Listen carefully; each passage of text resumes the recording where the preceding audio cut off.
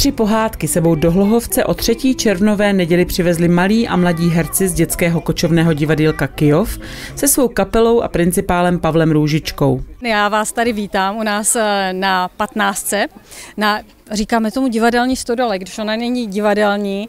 Eh, tady ten domeček patří obci a my jsme si ho takhle zvelebili právě pro pořádání takových kulturních akcí. A dva roky tady byl takový malý divadelní festiválek, ale účast nebyla úplně tak valná. Takové nejvěrnější publikum jsou děti a proto jsme se letos rozhodli, že to věnujeme zase dětem a pozvali jsme Kijovské kočovné divadílko Lidičky, které známe z YouTube převážně a všem se to strašně líbí. Je to lidové, je to takové hravé, proto jsme řekli i vlastně holkám z Lohovčánku, jestli by to nechtěli doplnit jejich vystoupením, takže se to spojilo v takovou hezkou folklorní akcičku.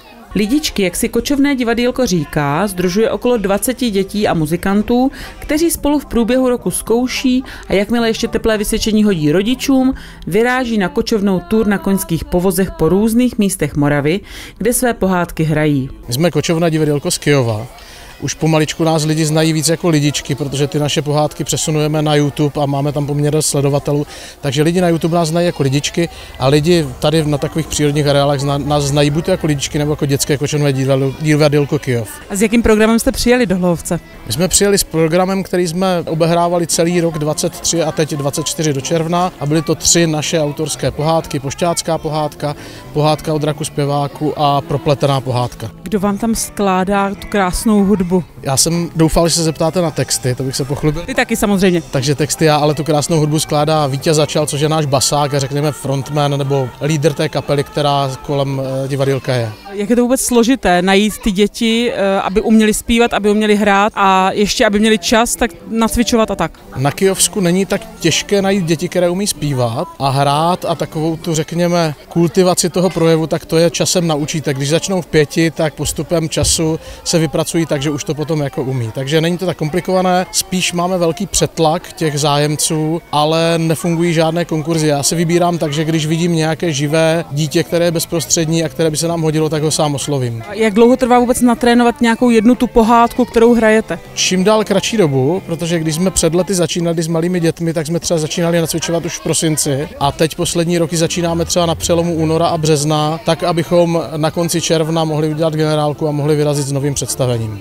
Kolik vás vůbec je a, a jak staré děti združujete? No, děti jsou od pěti let vlastně, když teď nám s námi bude nejmladší eh, kočovník, který bude mít pět let a je to zhruba do 15 do 16. Já se jich po tom 15. roce nemůžu moc zbavit, nedaří se mě to, ale většinou tam už mají své záliby, takže těch 16 je taková ta hranice, no kdy děti hrají a kolik nás je, to se těžko počítá, protože nás pořád jinak, ale když jedeme na kočovné turné, tak je nás až 25, protože máme koňáky, kteří řídí vozy, máme i nějaký ansámbl lidí kolem, který se starají o děti, takže zhruba 25. Dětí je tuším 16 v této chvíli. Na cestu se lidičky vydají také letos. Pro malé i velké diváky si totiž připravili tři nové pohádky, kterými jistě natchnou. U Brousku pro střise je jedna z pohádek, kterou už jsme před pěti, no před šesti lety dokonce hráli a vracíme ji zpátky na repertoár, je zase naše autorská. A pak jsou tam dvě pohádky úplně nové.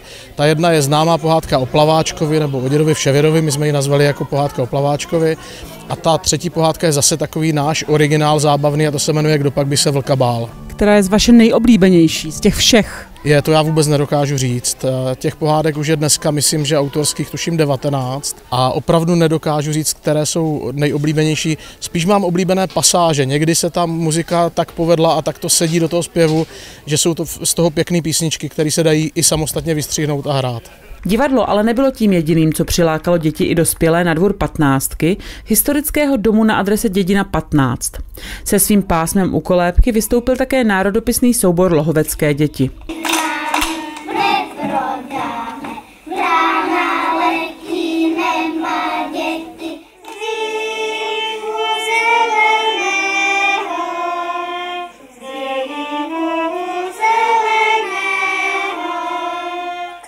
Musela se narodit má panenka malá, kde kvítla rozmarina, pod oknem voňala.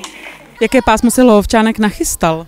A to pásmo bylo u kolébky, takže děvčátka se hrály na maminky a hošíci, to je jasný, to byli rošťáci. A jak často tady plánujete nějaké takové akce pořádat? Tyhle akce tady děláme vlastně už je to třetí ročník, co se tady něco děje, nějaké to divadílko. Plus ještě v létě se tady občas eh, promítají nějaké filmy, takže nějaké letní kino. Tady ten prostor je vlastně veřejný, je obecní, takže pokud někdo chce nějakou soukromou oslavu, tak si tady může udělat i to.